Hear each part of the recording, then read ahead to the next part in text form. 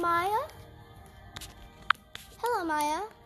Hi. Um, what are you doing? Playing. What does it look like I'm doing? Well, why are you being so mean? Come on. What? Why are you my babysitter? Because I am.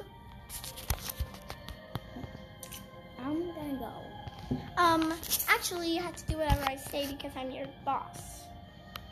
Yeah, right. You're a babysitter. You babysit babies. I'm not a baby. I'm a teacher. Babysitting is for kids all ages. You better come back here.